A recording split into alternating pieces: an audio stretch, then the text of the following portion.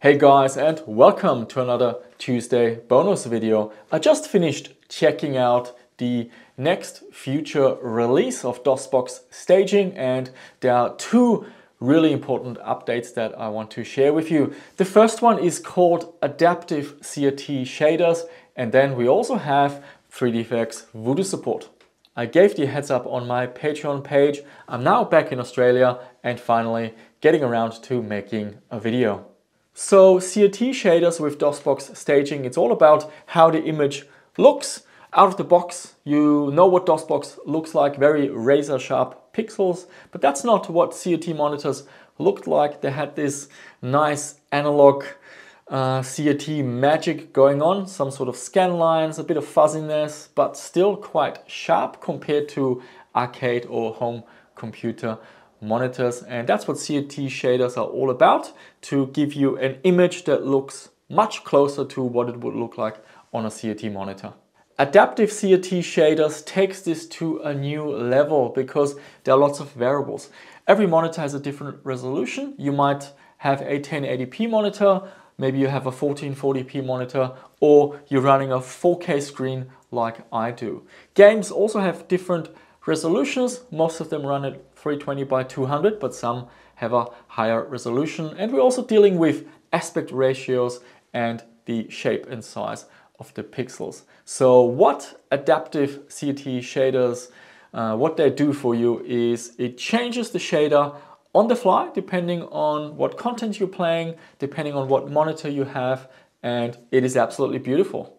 For example, if you grew up with a 286 computer and an EGA monitor, you would get that beautiful thick scan lines. However, if like me, you had a 386 or 486 with a VGA monitor, then the image would look totally different. You would get something called double scanned. You would see very thin scan lines and quite a different experience.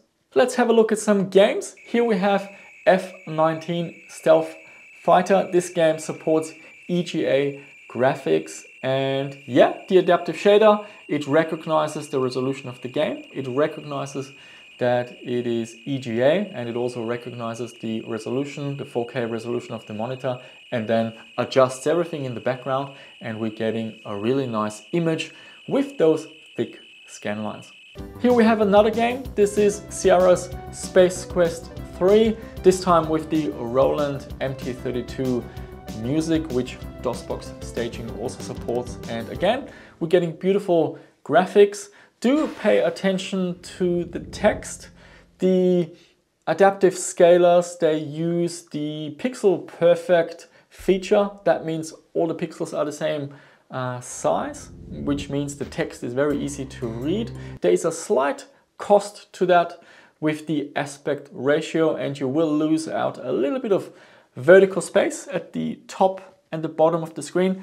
I don't think that's too big of a deal because back in those days most monitors were 14 or 15 maybe 17 inch so modern computer monitors these days are actually quite large and it will actually look a little bit nicer if the image is slightly reduced.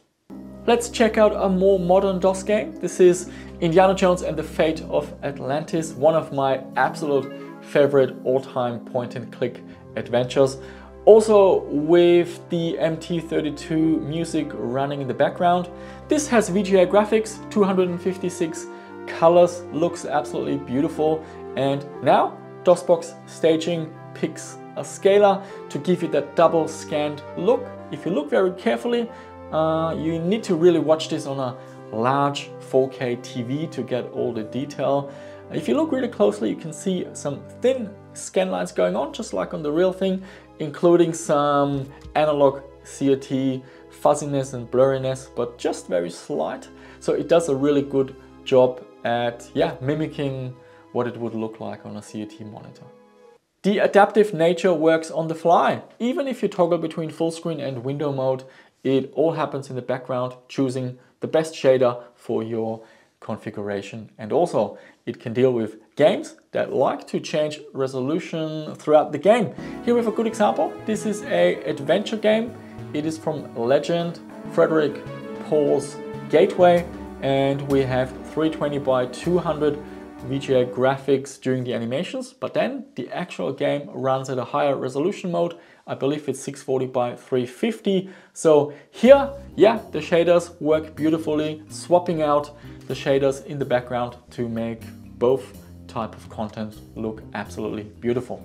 So this is the out of the box default behavior going forward with DOSBox staging, but of course you can manually override the behavior. If you prefer to have a more machine-centric setting, you can configure the DOSBox configuration file and say, well, let's say I have a VGA machine. I want to have double scanned VGA CRT look no matter what game I'm playing, even if I play EGA games. It's one change you have to do in the DOSBox config file and off you go. CRT Auto Arcade, this one is really fun. It replicates the image of an arcade or an, yeah, Amiga home computer monitor. Think of the Philips CM8833 connected with SCART RGB, very popular in Europe and it had a very unique look. And this yeah, I think this is a shout out to the Amiga fans out there. There are many PC ports from uh, classic Amiga games, and if you play them on PC, they might look a little bit wrong. Here we have a good example. This is the PC version of Turrican 2, which arguably is more superior to the Amiga version. Yes, I said it. We have more colors, different assets, no slowdowns, and also higher polyphony. So meaning it can the Sound Blaster 16 can play more voices at the same time. But with the pixel look, it looks a little bit too sharp. And here the CRT filter does a really good job at replicating this classic Amiga look. And finally, we have 3dfx Voodoo support. So let's check out Tomb Raider, the DOS version with the 3dfx Voodoo patch. We get 640 by 480 graphics. With this patch, we get the shadow from Lara, which is fantastic. Some of the other 3D accelerated patches don't give you that. And yeah, it runs silky smooth. In the config file, there are not too many options. You can change the amount of VRAM and also some optimizations. You can enable multi-threaded support as well as disable the bilinear filtering to get some more performance. But yeah, on a, on a half decent machine, I don't think you should have any issues with the performance. So all in all, I am aware that the CRT shaders, it's not for everyone, but I once was also in the camp of I gotta have those sharp pixels, you know, that was my setting. I used the OpenGL NB option in DOSBox and I had razor sharp pixels. But yeah, then I played around with my CRT monitor uh, a while ago in a, in, a, in, a, in a video and I saw the difference. Yes, it is sharp, but there is that CRT magic uh, behind the pixels, so to speak, very thin scan lines and some sort of a fine pattern that with a 4K monitor you can really see with these shaders. Is it 100% like a real monitor? Of course not, but it's the best that I've seen so far and it really makes a difference playing the games. It helps, takes you back to those happy times. This version is not released yet. You can download it from the daily build branch of DOSBox staging. I will put a link down below in the video description. And yeah, I encourage you to check it out. It looks absolutely beautiful. If you have a 4K monitor especially, you will see more detail. At 1080p, you will also get a bit of a benefit, but not as much. So here it pays having a decent high resolution monitor. And yeah, also happy about the 3dfx Voodoo support. There are not too many games under DOS that support the Glide API, but Tomb Raider is the big one. And if you love playing this game, it will look nicer and a little bit smoother with the 3dfx Voodoo option. So all in all, I'm really happy with this new release. Go check it out. Leave your thoughts down below in the comment section. Always love reading from you. And yeah, that's it. Thank you for watching and yeah, do consider supporting me through Patreon. We have a lot of cool behind the scenes content on there. And that's it. Thank you so much for watching and I shall see you soon with another one.